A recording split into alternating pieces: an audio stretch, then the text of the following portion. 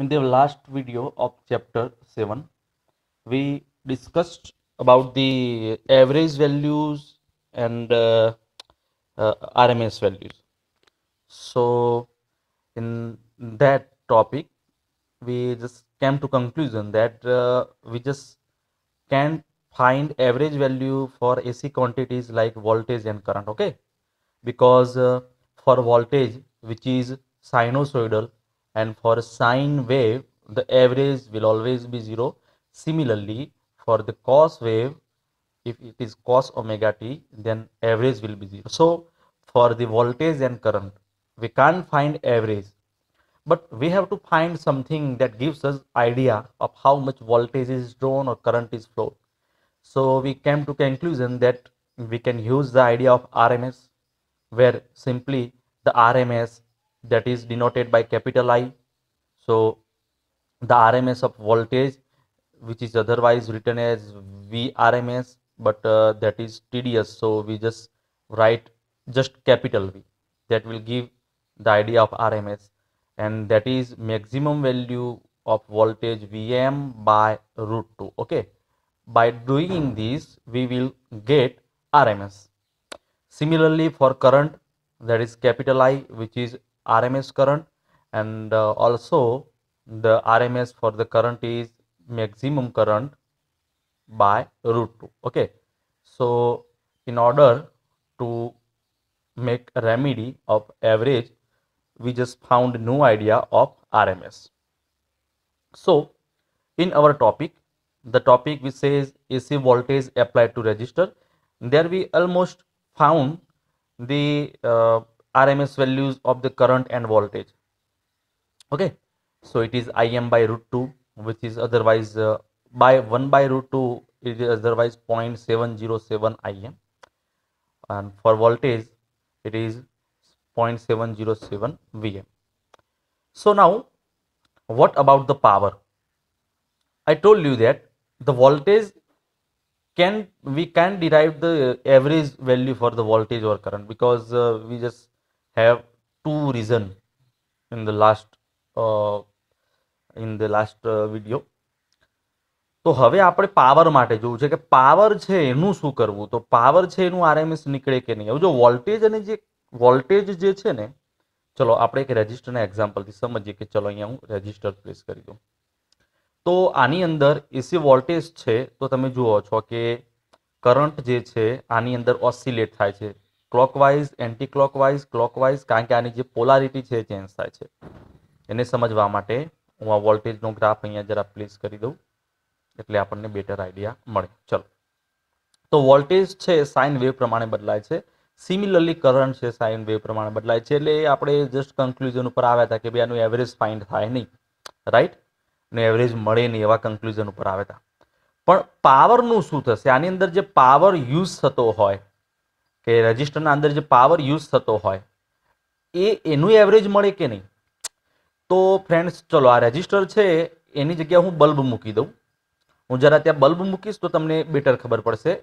ચલો, અહીંયા આગળ હું બલ્બ મૂકી દઉં. બલ્બ જે છે, એ ગ્લો થાય છે. એને જરા ઇઝીલી સમજવા માટે હું ફ્રીક્વન્સી જરા હજી લો કરી દઉં. ઓકે ચલો. ઓકે ધેટ ઇઝ ફાઇન અહીંયા તમે જુઓ. આની અંદર બલ્બમાંથી જે કરંટ ફ્લો થાય છે, એની ડિરેક્શન ચેન્જ થાય છે. ચલો, આ બાજુ, હવે આ બાજુ રાઇટમાં જાય છે, હવે લેફ્ટમાં જાય છે. તો કરંટ જે છે, એ એસી કરંટ છે, એ બલ્બમાંથી ફ્લો થાય છે. તો બલ્બ છે, ગ્લો થાય છે. રિગાર્ડલેસ ઓફ એની ડિરેક્શન મતલબ કે કરંટ રાઇટમાં જાય કે લેફ્ટમાં જાય, મતલબ કે કરંટની ડિરેક્શન ચેન્જ થાય તો પણ ગમે તે ડિરેક્શનમાં જાય બલ્બ તો ગ્લો થવાનો છે. તમે જોઈ શકો છો. અને અહીંયા આગળ બલ્બ ગ્લો થાય છે, એનો મતલબ આની અંદર પાવર યુઝ થાય છે. પાવર જે છે, એની એવરેજ વેલ્યુ મળે. એક્ઝામ્પલ તરીકે, ચલો અહીંયાથી હું સ્ટાર્ટ કરું. અહીંયા તમે જરા સ્ટેપ નોટ કરજો. અહીંયા કરંટ જે છે, એક ડિરેક્શનમાં જાય છે, તો બલ્બ મેક્ઝિમમ ગ્લો થયો. ચલો મેક્ઝિમમ ગ્લો થયો. હવે કરંટ છે એ બીજી ડિરેક્શનમાં જાય છે. એટલે ધીમે ધીમે કરંટ ડિક્રીઝ થાય છે. જે ફ્લો થતો કરંટ છે ને ડિક્રીઝ થાય છે. તો એની અંદર યુઝ થતો પાવર છે. ઝીરો થઈ ગયો. ઓકે ઝીરો થઈ ગયો. ચલો, હવે કરંટ ઓપોઝિટ ડિરેક્શનમાં ફ્લો થવાનો ચાલુ થાય છે. એટલે પાવર યુઝ થવાનો મેક્ઝિમમ થઈ ગયો બલ્બના અંદર. અને ફરીથી કરંટ જે છે એ ડિક્રીઝ થવા લાગ્યો. ધીમે ધીમે કરંટ અહીંયા જુઓ ડિક્રીઝ થવા લાગ્યો. તો અહીંયા આગળ પાવર છે એ પણ ડિક્રીઝ થવા લાગશે. તો અહીંયા આગળ પાવર જે છે એના માટે ડિરેક્શન હોય નહીં. પાવર જે છે ને, એ પણ પેલાના જેમ સ્કેલર ક્વોન્ટિટી છે, પણ એની અંદર ડિરેક્શન તો હોય નહીં. તમારો કરંટ બલ્બમાંથી ફ્લો થયો, તમારા રેજિસ્ટર રેજિસ્ટર એટલે બલ્બ એ રેજિસ્ટર જ કહેવાય આપણા માટે. એના અંદર ટંગસ્ટનનો વાયર છે, આપણા માટે રેજિસ્ટન્સ પ્રોવાઈડ કરે. એના અંદરથી કરંટ ફ્લો થાય એટલે પાવર યુઝ થવાનો થવાનો અને થવાનો. અને એની એવરેજ વેલ્યુ ફાઇન્ડ કરી શકાય. એમાં કોઈ પ્રોબ્લેમ થશે નહીં. ઓકે વોલ્ટેજ છે એની ફાઇન ના કરી શકાય. કેમ? કારણ કે એની અંદર ડિરેક્શન ઇમ્પોર્ટન્ટ છે. કે વોલ્ટેજમાં પોલારિટી ચેન્જ થાય, મતલબ કે એક છેડો પ્લસ હોય, બીજો માઇનસ હોય, પછી એ માઇનસ અને પ્લસ ચેન્જ થઈ જશે. કરંટમાં પણ ડિરેક્શન જે છે ચેન્જ થઈ જશે. પાવરમાં એવું હોતું નથી. ચલો, તો મિત્રો, હવે આ જે રેજિસ્ટર છે, એના અંદર એવરેજ પાવર કેટલો હોય? ઓકે, તો એ જરા ફાઇન કરીએ. ચલો, તો average power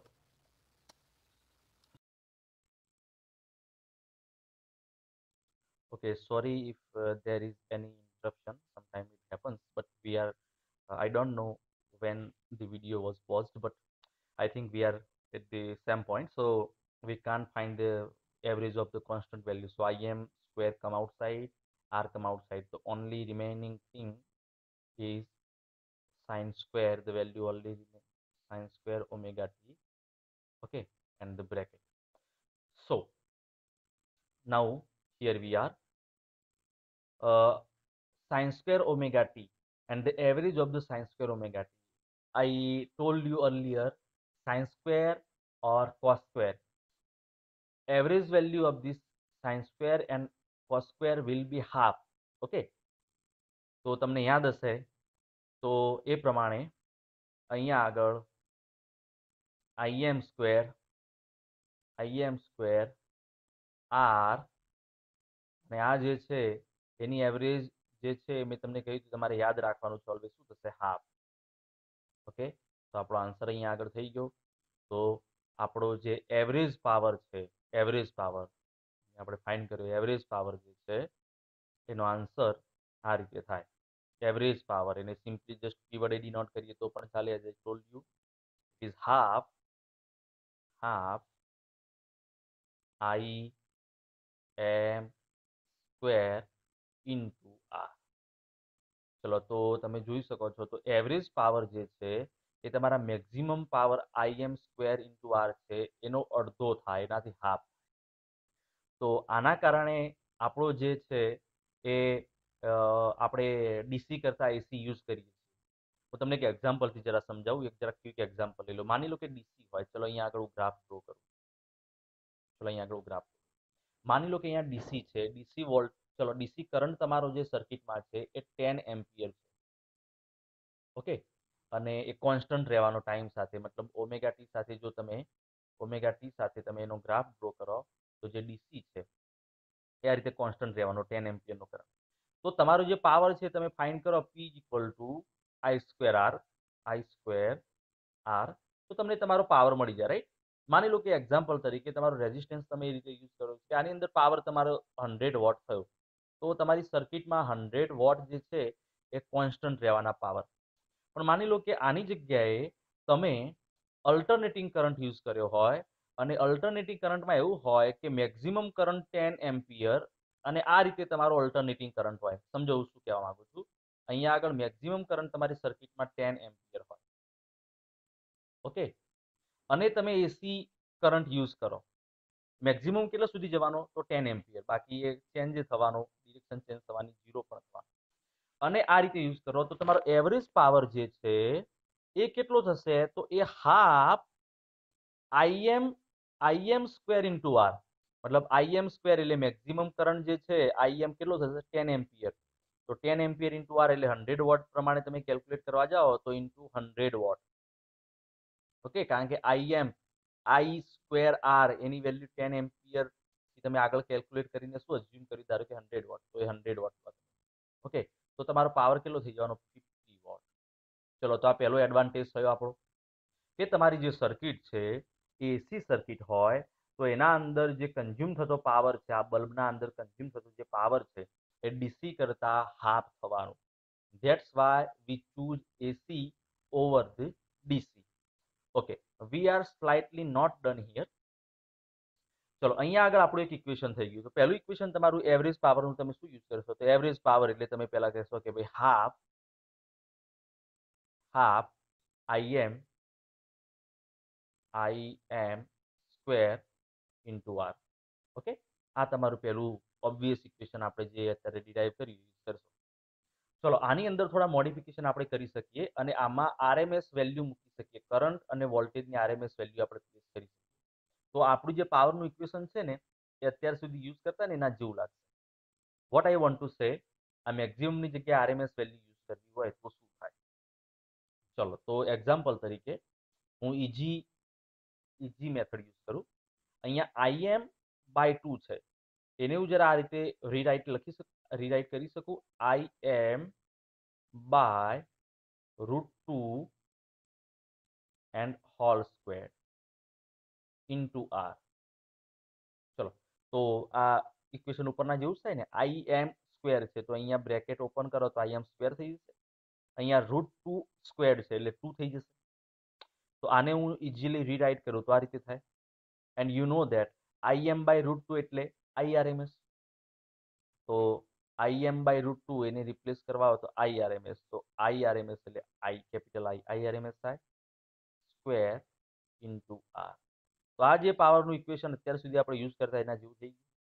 RMS value use કરો તો આપણા પાવરના ઇક્વેશન જેવા હતા એવા થઈ જાય. એનો મતલબ હવે બાકીના ઇક્વેશન હું ડિરાઈવ ના કરું તો પણ એવરેજ પાવરમાં એક ઇક્વેશન આપણું શું થયું? આઈ સ્ક્વેર આર યાદ રાખો કે અહીંયા આગળ જે આઈ છે કયો છે? It is RMS current. તો એ પ્રમાણે વોલ્ટેજમાં તમે, વોલ્ટેજનું બીજું ઇક્વેશન લખવા જાઓ તો યાદ છે કયું હતું? વી સ્ક્વેર બાય આર તો એ પણ યુઝ કરી શકાય. ઓકે અને એ સિવાય ઇક્વેશન શું હતું? વી આઈ એ પણ યુઝ કરી શકાય. આ બધા ઇક્વેશન જો તમે યુઝ કરવા જાઓ તો આની અંદર વી જે આવે અને આઈ જે આવે, કયા લેવાના? બાય ડિફોલ્ટ આરએમએસ લેવા જો મેક્સિમમ વેલ્યુ લેવું હોય તો આઈ એમ સ્ક્વેર એ રીતે લેવા તો ફ્રેન્ડ્સ અહીંયા આગળ આપણે કન્ક્લુઝન લીધું. બુક કરતા મેં ઇઝીલી મેથડમાં અહીંયા સમજાવી દીધું. આ બધું તમે સમજશો નહીં, તો પણ હું તમને અહીંયા ઇઝીલી કહી દઉં. ચલો, આખી જે ડિસ્કશન છે એ ફરીથી કહું. જ્યારે તમે એસી વોલ્ટેજ છે એ રેઝિસ્ટરને એપ્લાય કરો when AC voltage is apply to a resistor AC voltage જે છે એ વી ઇક્વલ ટુ માની લો કે વીએમ સાઇન ઓમેગા ટી છે. ઓકે સાઈન ઓમેગા ટી છે. તો એ તમારો જે વોલ્ટેજ છે સાઇન પ્રમાણે આ રીતે હશે. Voltage okay voltage versus omega T તો આની અંદરનો જે વોલ્ટેજ છે સાઇનોસોઇડલી આ રીતે આ ગ્રાફમાં જેમ ચેન્જ થાય છે, એ રીતે વોલ્ટેજ વોલ્ટેજ ગ્રાફ. ક્લિયર તો એ પ્રમાણે એની અંદર જે કરંટ છે, એ કરંટ પણ સાઇન હશે. મતલબ કરંટનું જો ઇક્વેશન બનાવવા જાઓ, તો કરંટનું ઇક્વેશન પણ શું બનશે? તો તમારી સર્કિટમાં current I is equal to વોલ્ટેજની જેમ I M sine omega T હશે. ઓકે મતલબ વોલ્ટેજ સાઇન ફંક્શન પ્રમાણે હશે, તો કરંટ પણ સાઇન ફંક્શન પ્રમાણે હશે. એટલે કે વોલ્ટેજ અને કરંટ સાથે ચેન્જ થશે ઓકે તો એમની વચ્ચે ફેજ ડિફરન્સ કેટલું હશે? તો ફેજ ડિફરન્સ જે છે, એને આપણે ધારો કે પાઈ વડે ફાઈ વડે ડિનોટ કરીએ છીએ. તો એ જીરો ફેજ ડિફરન્સ જીરો મતલબ શું? તો આ બંને છે એ ઓવરલેપ થયેલા હશે. જ્યારે વોલ્ટેજ મેક્સિમમ થાય, ત્યારે કરંટ મેક્સિમમ થાય, જ્યારે વોલ્ટેજ ઝીરો થાય, ત્યારે કરંટ ઝીરો થાય. સેમ પેટર્ન હોય.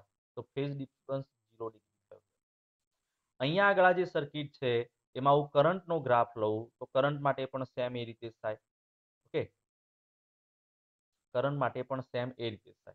વોલ્ટેજ અને કરંટ જે છે, એક સાથે ચેન્જ થતા હોય. અહીંયા જસ્ટ કન્વેન્શનલ કરંટ છે ને, એને જરા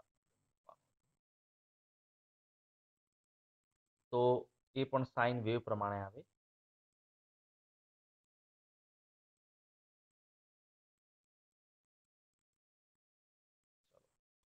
forget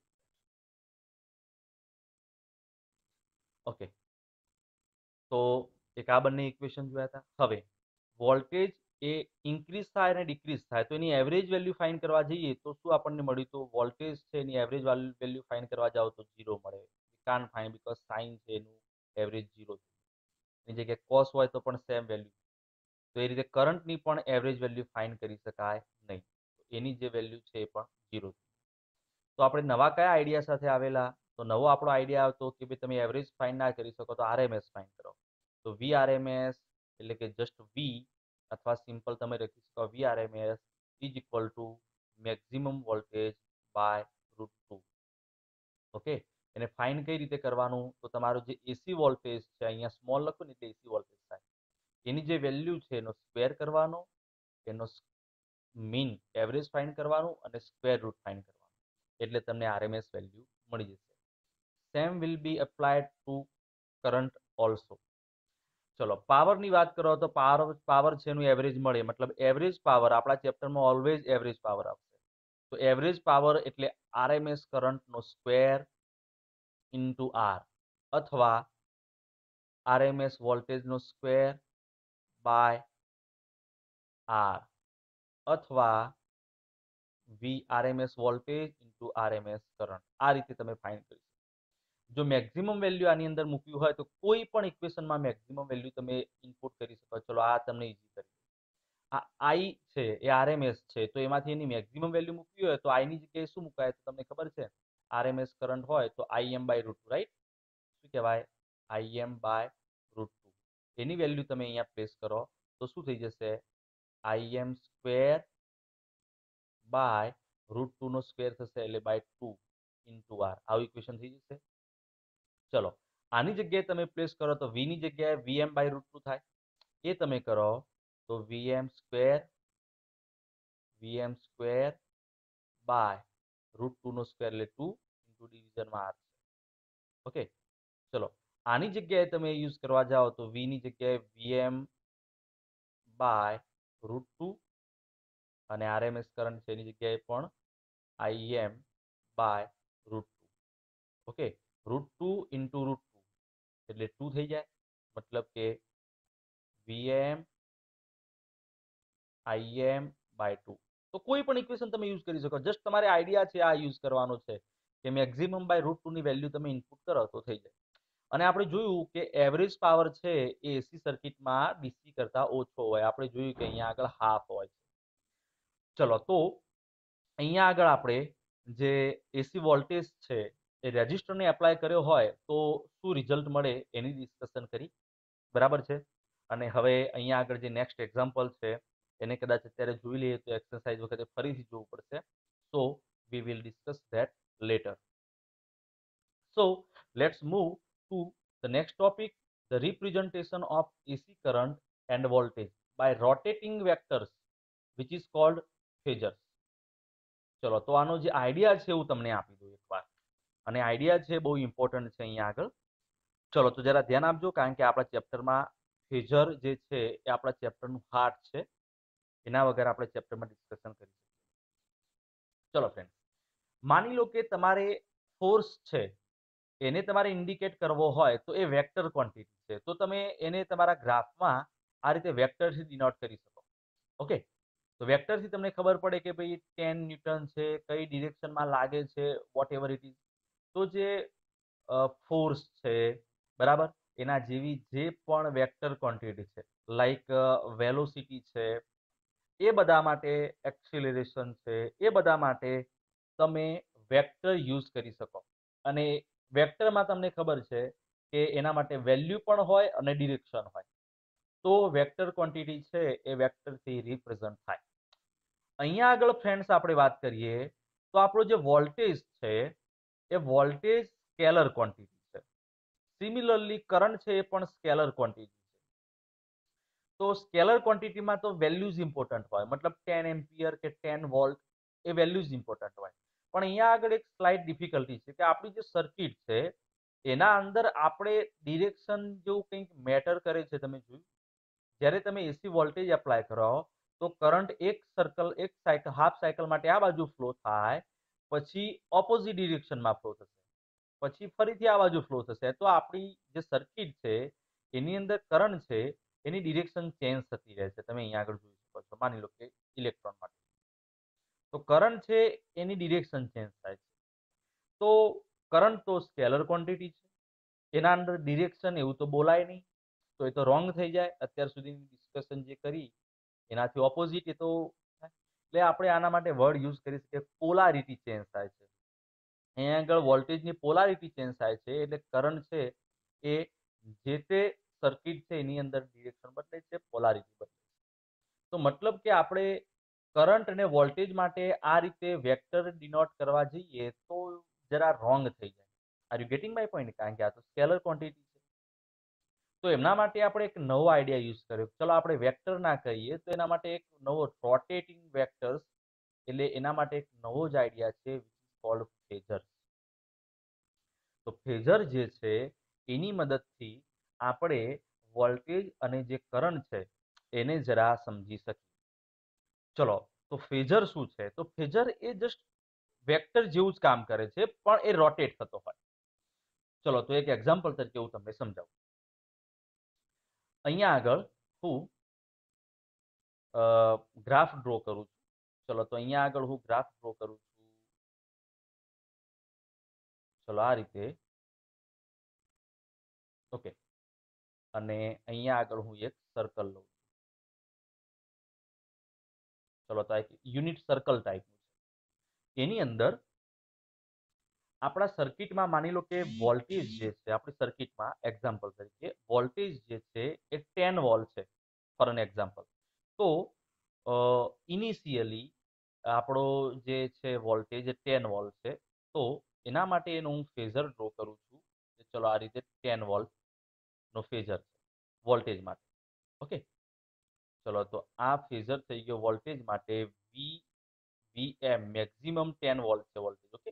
Maximum ten volt આપણી સર્કિટમાં અને કરંટ જે છે, એ માની લો કે ફાઈવ એમ્પિયર છે, તો એનો હું ફેઝર ડ્રો કરી દઉં.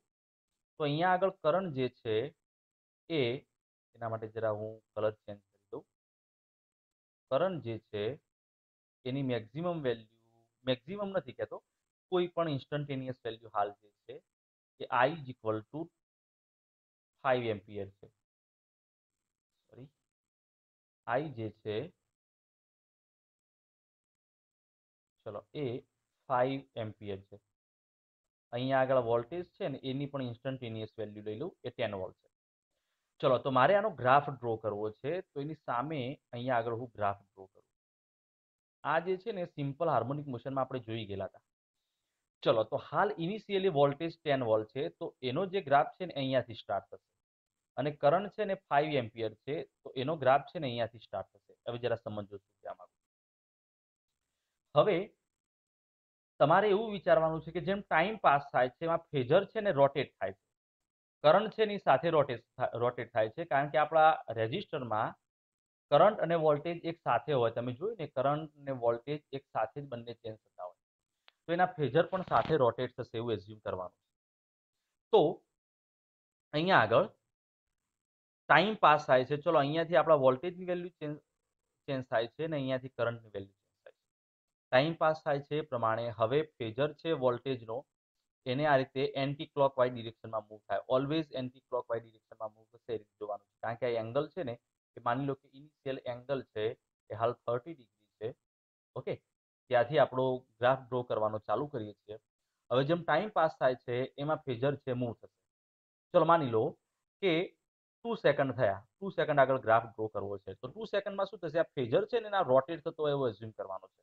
તો અહીંયા આગળ હોલ્ડ કરજો. આ જે છે એના માટે હું એક ઇમેજિનેશન તમને પ્રેઝન્ટ કરું.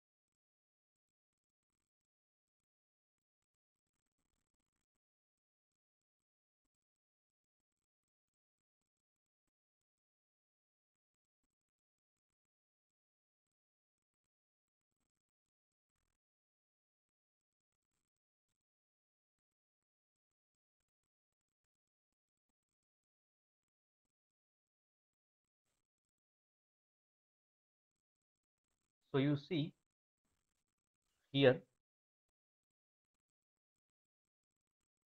we can have some phasors so uh, let's understand phasor by first here so here uh, you see this is the phasor for voltage or current simply for any voltage and current. So here we imagine that the voltage phasor is rotating and the instantaneous value can be plotted here as a sine or cos wave. So our phasor can be initially at any angle is always rotating in anti-clockwise direction and plotting it on a graph will give us sine or cos wave or any wave like that. Here we are given two phasors one might be for the voltage and another might be for the current so here we can plot sine wave how they will uh, behave with respect to each other એટલે અહીંયા આગળ જે છે એ phasor બે માટે આપેલા છે એ રીતે ત્રણ માટે પણ કરી શકાય ચાર માટે પણ કરી શકાય ઓકે તો અહીંયા આગળ જે રજિસ્ટર માટે છે એના માટે ફેઝર તમે જોવા જાઓ તો વોલ્ટેજ અને કરંટ બંને સેમ ડિરેક્શનમાં એક સાથે જ રોટેટ થતા હોય કેપેસિટર અને ઇન્ડક્ટર માટે જોવાનું આપણે બાકી છે. ચલો, તો આપણે આ જે ફેઝર છે, એને એક નેક્સ્ટ સ્ટેપથી જોઈએ. ચલો, અહીંયા આગળ. તો અહીંયા આગળ તમે જુઓ. તો જે ફેઝર છે, અહીંયા આગળ, આ જે વેલ્યુ છે, એમાં તમે જ્યારે કેપેસિટર માટે છે, પણ હું અહીંયા આગળ જસ્ટ રજિસ્ટર માટે લઉં. કેપેસિટરની વેલ્યુ આ બધી જે છે આમાં સમજવાનું નથી. ઓકે, એમાં તમને પાછું કન્ફ્યુઝન થશે ચલો અહીંયા આગળ સમજો. અહીંયા આગળ આ જે છે એ રેજિસ્ટર માટે છે. તો રેજિસ્ટર માટે અહીંયા રેડ કલરનો જે ફેઝર છે એરો જે છે ઓકે ચલો પહેલાં તો હું એને કોઈ એંગલ ઉપર મૂકી દઉં અને ત્યાંથી હું સ્ટાર્ટ કરું. ઓકે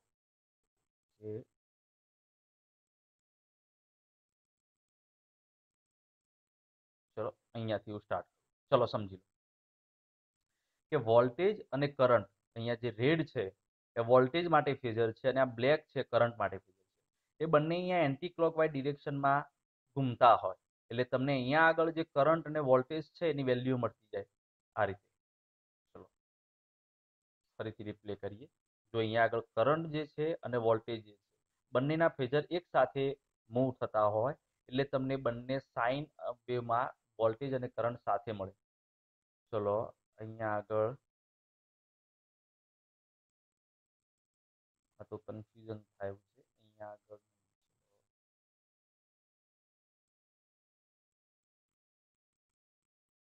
ઓકે આની અંદર. ચલો, તો અહીંયા આગળ જુઓ. આપણો જે વોલ્ટેજ છે, એને રેડમાં આપણે ઇન્ડિકેટ કર્યો છે. તો એનો ફેઝર છે ને રેડ છે. ચલો, તમે ધ્યાનથી અહીંયા આગળ જોઈ શકો છો. ઓકે ચલો, જરા આને ઝૂમ કરું. બરાબર. ચલો, તો અહીંયા આગળ તમે ઇઝીલી જોઈ શકો છો કે રેડ જે છે, એ વોલ્ટેજ માટે વેલ્યુ ઇન્ડિકેટ કરે છે અને આ જે બ્લુ છે, એ સોરી બ્લુ છે, એ વોલ્ટેજ માટે ઇન્ડિકેટ કરે છે અને રેડ છે, એ કરંટ માટે ઇન્ડિકેટ કરે છે. માની લો કે આ જે છે ને આપણો રેજિસ્ટર છે અને આપણે અહીંયા આગળ એસી વોલ્ટેજ એપ્લાય કર્યો છે. અહીંયા બે ટર્મિનલ વચ્ચે આ વોલ્ટ મીટર છે, વોલ્ટેજ મેજર કરશે અને આપણી સર્કિટમાં કરંટ જે છે કરંટ મેજર કરશે એમીટર જે છે કરંટ મેજર કરશે. ચલો, તો સ્લો મોશનમાં આપણે જોઈએ, તો આપણી ફ્રીક્વન્સી છે એ ફિફ્ટી હર્ટ્સ છે. ફ્રીક્વન્સી ફિફ્ટી હર્ટ્સ છે એનો મતલબ શું કે એક સેકન્ડમાં આ એ ફિફ્ટી ટાઈમ્સ રોટેટ કરે. બરાબર? મેક્સિમમ વોલ્ટેજ તો અપ ટુ મેક્સિમમ વોલ્ટેજ અહીંયા વીએમ એની વેલ્યુ છે ટેન વોલ્ટ છે. રેઝિસ્ટન્સ કેટલો છે તો ફાઈવ હંડ્રેડ ઓમ ચલો, તો આપણે સ્ટાર્ટ કરીએ. તો ઇનિશિયલી વોલ્ટેજ જે છે અને કરંટ જે છે એ બંને તમે આને એક્સ એક્સિસ કહો છો ને, એને આપણે હોરિઝોન્ટલ લાઈન બોલીશું હોરિઝોન્ટલ લાઈન ઉપર છે. એટલે આપણો ગ્રાફ છે ને અહીંયાથી સ્ટાર્ટ થશે. તો મેં અહીંયા તમને સમજાવ્યું હતું એ પ્રમાણે અહીંયા આગળ આપણા જે ફેઝર છે, એ જરા આ રીતે છે ઇનિશિયલી ચલો, એનું ઇમેજિનેશન છે, એનું આપણે સ્ટાર્ટ કરીએ પહેલા. અહીંયા આગળ. ચલો, આ રીતે ગ્રાફ ડ્રો કરીશું. અને આ રીતે. ઓકે ફાઇન ચલો અહીંયા આગળ આપણે ગ્રાફ ડ્રો કરીશું. અહીંયા આગળ જે ફેઝર છે ને રોટેટ થશે અને અહીંયા એનો ગ્રાફ મળશે. તો ચલો આપણે જે જોઈએ એમાં જે વોલ્ટેજ છે, જે વોલ્ટેજ છે એને આપણે રેડમાં રાખેલો છે. ઓકે ચલો તો વોલ્ટેજ છે એનો ફેઝર આ રીતે રેડમાં રાખેલો છે.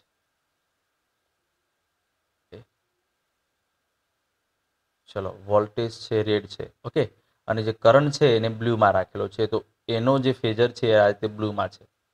ચલો, તો initially A T is equal to zero initially આપણે ગ્રાફ ડ્રો કરવાનો ચાલુ કરીએ એટલે T is equal to zero અહીંયા આગળથી આપણો ગ્રાફ છે, એમાં વોલ્ટેજ અને કરંટ બંને અહીંયા ઝીરોથી સ્ટાર્ટ થશે.